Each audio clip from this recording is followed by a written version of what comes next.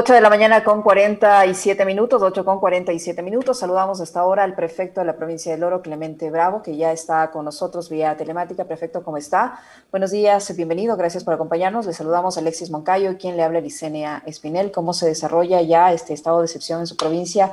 ¿Y qué decir respecto a los casos de la variante Delta del COVID-19? Ayer la ministra de Salud decía que se había ampliado el cerco epidemiológico y que una de estas personas a la que se le fue detectada la variante Delta habría estado eh, por la ciudad eh, de Loja, también en la ciudad de Guayaquil, en fin. Eh, ¿qué, novedades nos tiene al respecto? ¿Cuántos casos exactamente se han detectado con esta variante en su provincia? ¿Cómo se está manejando el estado de excepción? Buenos días, bienvenida. Buenos días, Yesenia, ¿no? Yesenia. Licenia. Licen, sí, con mucho gusto.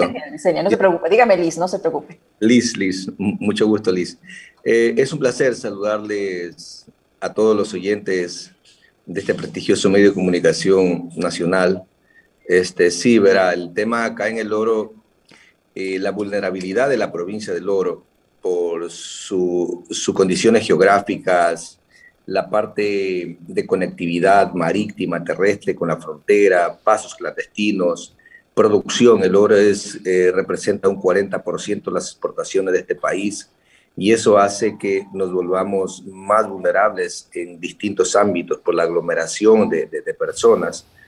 Entonces, eso ha hecho de que esta zona sea una zona eh, bastante complicada, como se dice. ¿no? Sin embargo, eh, los distintos niveles de gobierno, digo, el Ministerio de Salud vienen haciendo un excelente trabajo. Eh, creo que estamos, hemos ampliado las coberturas de, este, de vacunación de tal forma que permita este, poder reducir cualquier impacto frente a una variante, eh, este, la Delta, Delta y Delta Plus, que más, que más que ser muy peligrosas, son muy contagiosas. Y eso hace que en su momento pues, se puedan saturar las unidades de salud. Por eso se están tomando todas las medidas eh, necesarias. Hay un estado de excepción que que ha establecido el gobierno nacional y nos estamos rigiendo también por ese estado de sección. Hay algunas coordinaciones con los ministros de Estado, con la ministra de Salud, la ministra de Educación y el Comité de Operaciones Nacional. Perfecto, un gusto saludarle. Em, ¿Cuáles son las, restricciones que ahora están eh, operando en su provincia, tomando en cuenta lo que usted decía hace un momento, ¿no? que es una provincia fronteriza que tiene este, precisamente el ingreso también de ciudadanos por vía terrestre? ¿Cuáles son las eh, restricciones y cómo están ustedes operando para ser, eh, digamos, rigurosos en el control?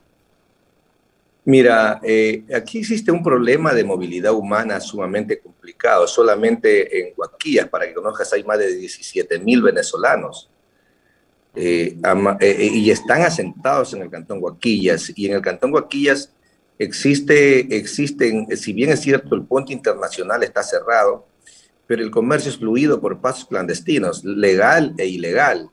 Entonces, eso hace que nos, nos convirtamos en, un sector muy vulnerable y, esta variante que viene de, de la India ya viene algún tiempo eh, ha estado ya posesionada en, en, el Perú.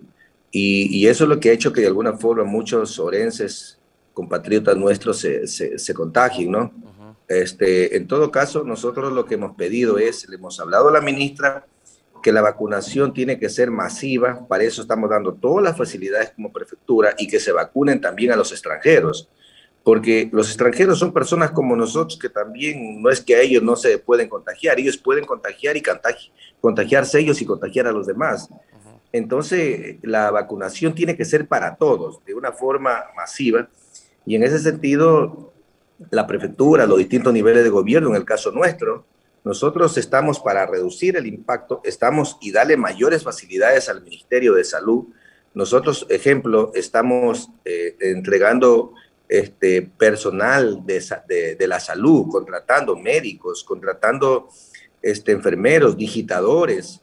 Este, solamente entre esos son más de 60 personas que está contratando la prefectura para poder ayudar a más de lo que están haciendo los municipios, a más de carpas, computadoras, este, sillas, eh, o sea, en medio de la crisis económica que los gobiernos locales también atravesamos, Estamos haciendo un, esfuerzo grande con el ánimo de, reducir este, los niveles de contagio y así que la gente, la población no esté muy vulnerable. Nosotros aspiramos que hasta mediados de agosto tener por lo menos unas 500 mil personas vacunadas, al menos con la primera dosis, para que en el mes de septiembre, hasta mediados de septiembre, tengamos ya la segunda dosis. Eso sí va a hacer que, que se reduzca cualquier problema que se pueda presentar. Yo creo que el oro necesita una atención, una atención sumamente urgente de parte del gobierno nacional, de tal forma que se permita hacer un aislamiento epidemiológico para que esto no salga fuera de la provincia y, se perjudique a otras provincias del país. Entonces, en ese marco, considero que estamos haciendo un, trabajo muy, muy bueno con el Ministerio de Salud. El Ministerio de Salud está al día de, el día, el día martes, nosotros, miércoles, perdón, vacunamos solamente en Machala como unas 13 mil personas en un solo día. Eh, igual forma, en, el resto de cantones, la, vacunación está siendo acelerada, pues si se supone que con la vacunación eh, el impacto de algún crecimiento de, de, este, de esta nueva cepa eh, no nos puede hacer mucho daño. Perfecto. El cerco epidemiológico, ¿cómo se lo está controlando? La ministra decía que se había ayer ampliado a mayor número de personas, eh, pero ¿cómo se lo está controlando? ¿Qué información tienen ustedes? ¿De dónde han estado estas personas a las que se les ha detectado esta variante y que están en su provincia? Sí, eh, eh, se, ha hecho un, se ha hecho un cerco epidemiológico a nivel de cada familia. Se tiene detectado con qué personas estuvieron, están aisladas y, bueno, este, no tenemos mayores, mayores crecimientos, como se dice, de mortalidad, ni tampoco los parámetros están normales, normales en lo que tiene que ver al, al, nivel de contagio, al incremento de contagios. Digo normales porque estamos casi con los mismos parámetros de hace un mes atrás. Entonces, no, creo que el, el, trabajo que se ha venido haciendo de parte del Ministerio de Salud consideramos que es sumamente importante y el trabajo que estamos comprometidos todas las autoridades. El, tema también de, de reducir el, todo lo que es el tránsito, eh, desconectarnos con el transporte urbano interprovincial, que eso afecta un poco al sector eh, de la transportación, pero también es cierto que podemos salvar muchas vidas. O sea, yo creo que la salud y la vida de la gente está por encima de, de cualquier cosa. Nosotros estamos por la vida, por la salud. Eh, igual forma, el tema de los aforos con, con, los ciudadanos, la concentración de ciudadanos se está reduciendo a 25, a 25 este, al 25%, como también es importante eh, señalar de que la movilidad vehicular, eh, el tránsito vehicular del lunes a jueves es de, de 8 de la noche a 6 de la mañana y viernes, sábado y domingo, o sea, a partir del día de hoy, es desde las 6 de la tarde a 6 de la mañana. Así, hay, así como esas hay algunas restricciones, la policía, el ejército está sumamente activado y eso hace de que se reduzca todo tipo de, de, fiestas, programas, discotecas, salones, en fin, eh, centro de diversiones, todo eso lo tenemos cerrado y eso en 15 días porque está hasta el 28 de julio a las 11 y 45 de la noche está el estado de excepción y todo depende del, aporte que pongamos, todo lo que yo les he dicho a los ciudadanos.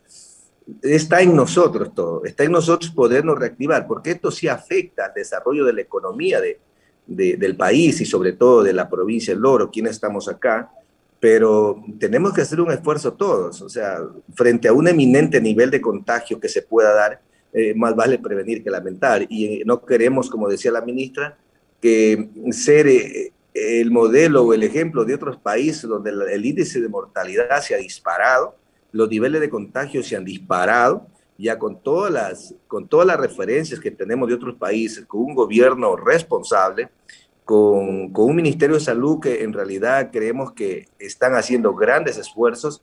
Eh, nosotros como autoridades locales también nos, nos hemos dialogado y estamos conscientes de lo que está pasando y en base a eso, pues nosotros estamos trabajando. Eh, yo creo que lo más importante es la concientización, lo más importante es que la gente haga conciencia de todo esto, el nivel de cultura. También estamos con algunos programas de comunicación eh, vía online, eh, Facebook, medios de comunicación, televisión, radio, estamos con una serie de, de sistemas informativos que permitan generar más conciencia a la ciudadanía. ¿Cómo está el nivel de ocupación de las UCI en su provincia, prefecto? ¿Perdón? El nivel de ocupación de las unidades de cuidados intensivos. Mira, eh, hasta el momento están, eh, no, no es que tenemos saturado, no, no, está, se mantiene igual que, que hace un mes, eh, mes y medio, dos meses atrás. O sea, está, la situación está controlada. Lógicamente, no con eso significa que tenemos que bajar la guardia. El, el, este, este, esta nueva cepa no es que es más mortal, no es que es más letal eh, el tema de esta cepa es igual que cualquiera de las otras cepas. La única diferencia es que el nivel de contagio es a la velocidad de un rayo. Es, es sumamente, es increíble el nivel de contagio.